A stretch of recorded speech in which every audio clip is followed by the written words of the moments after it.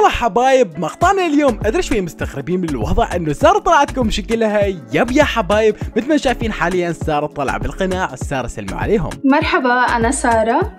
آخر مرة خلص اليوم طلعت لكم بالقناع أول مرة بتشوفونا هيك فمستحية فما ما بعرف كيف أحكي. طبعا بالنسبة للاشخاص ما يعرفون ساره يا حبايب في رابط قناة بالوصف اريد اليوم نوصلها 100000 مشترك يا حبايب لأن ساره حتصير تطلع لكم بوجهها وتصير تسوي لكم أشياء كلش خرافية. بالنسبة لي يا حبايب أنا دا أفكر أسوي نفسها وما أطلع بنفس الشكل هم بالقناع وبعدين بعد الأيام نصير ننزع لكم القناع الهدف عليكم يا حبايب أو الوسيله عليكم أنتم لازم توصلون هذا المقطع 30000 like. إذا تريدوني أطلع بالقناع مثل ما طلعتكم حاليا سارة. okay يا حبايب حاليا حنديكم بالأخبار ونقول لكم الخبر. الأول اللي عندنا بما أنه ساره حاليا طلعت بشكلها راح تنقل لنا الخبر الأول عن ياسو ريدر.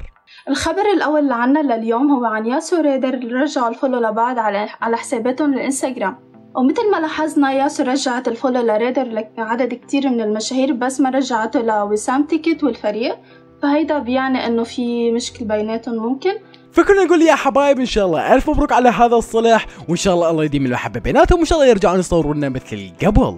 وبنفس الوقت الشيء الغريب اللي صار إنه ريدر نزل هذا ال story نوعا ما يقصد يمكن فرفة فنبولي أو بعض الأشخاص اللي حاولوا يسوون فتنة بينه وبين ياسو وصار يلقبهم بالمنافقين. بالإضافة يا حبايبي انه بيسانتيكس سوت follow لياسو على حسابها بالتيك توك. فهل هذا يعني إنه هي أصدقاء وصار خلاف بيناتهم انحل أو هي راح تطلع من الفريق؟ اكتبوا بال commentات. ننتقل حاليا للخبر الثاني الناري واللي هو عن عبد الله لايف ستيج اللي طلع بشوية storyات قاعد يهدد يارا ما أدري صراحة ليش قاعد تهدد بنية أصلا يتيمة وبنية ما سوت لك أي شيء عم أنت طالع تهددها بال story تسوي نفسك دا تدافع عن قمر ولكن يا حبايب الشيء الحلو بالموضوع إنه انتشر voice هذا ال voice على انتشر على التيك توك النور مار قاعد يعترف إنه عبد الله من لايف ستيج هو مهدد قمر الطائي بحسابها وهويتها عم يسوي وياها مقابلة. راح أحط لكم ال voice يا حبايب اسمعوه. انه عبد الله اخذ هويه قمر واخذ له حسابها صار يقول له ما بعطيك الحساب لما ما تدخل معي مقابلة. الصراحة ال voice كله صدمه فانت شلون قاعد تدافع عن قمر وأنت أصلا قاعد مهددها what the fuck طبعا ان شاء الله يا رب هو ما يكون قاعد يهددها. بالنهاية بنيه صغيره عمرها 15 سنة. صراحة عيب عليك أنت تروح تستغلها على مسويها مقابل عمل شوية مشاهدات وشوية attention صراحة كلش عيب عليك تسوي هذا الشيء. نتمنى يا حبايب إنه أنتم تاخذون حق قمر من عنده. وبنفس الوقت يا حبايب نتمنى أي واحد يقدر يتواصل ويا قمر.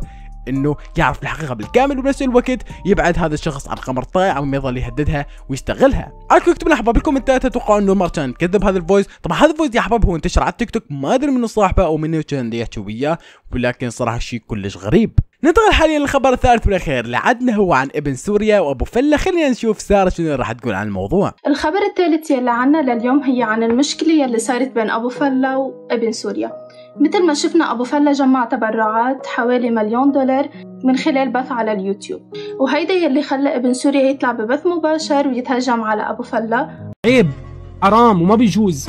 لكن انتو كيف قبلتوها على حالكم أنا هذا الشيء الصعبان لي هذا الشيء الصعبان لي رح تيجي تقول لي مو شغلتك هي. مو شغلتك عدم مؤاخذة. ابن بلدي وغيره وغيره. مو شغلتك. أنا أنا, أنا مالي ناطر هيك لحتى أوضح لك أنا أيمت ساعدته ولا أيمت أعطيته. مو شغلتك. اهتم بحالك من بعد إذنك. روح نظف حالك. أنت اللي جاي تتكلم. روح شوف ال social media تبعيتك كيف عاملة. روح شوف الشيء اللي عندك اللي بيغضب رب العالمين وما بيرضي العبد. روح شوف. صلح نفسك قبل لا تطلع على غيرك. الناس المخيمات والناس اللي قاعدة تحت ما لها ناطرة على شخص مثلك. لا والله ما لها ناطرة. لو ربي شاهد علي ما هيك ما هيك. هذا مؤاخذة أنا من خربة الجوز. أنا من إدلب. ما هيك. لا. عاكم اكتبوا لنا حبايب بال commentات شاركوا بهذا الخبر. أنتم يا أبو فله أم يا ابن سوريا. okay يا حبايب حاليا راح نبدأ بشوية أسئلة. أنا راح أسأل سؤالين لسارة وسارة راح تسألني سؤالين. السؤال الأول اللي حساله سارة واللي هو اللي طلع ب video clip جرحي هل كان انت أو لا؟ صراحة مش رح خبي عليكم لا هيدي منا أنا. آه، لأنه بصراحة أنا كنت ناوية أسافر بس ما قدرت. صار عندي ظروف فما قدرت أسافر و... فطرنا يا حبايب ناخذ شوية لقطات من النت اعذرونا على هذا الشيء ولكن سارة حاليا طلعتكم بالقناة وإن شاء الله بالأيام راح تطلع لكم بشكلها. okay. يلا. okay. آه ف السؤال الثاني لا شو هو؟ okay. شو في بينك وبين سارة؟ سارة الثانية قصدك؟ سارة وود؟ أنا. ها؟ أنا. شو؟ أنا. آم... okay يعني الصراحه الصراحة.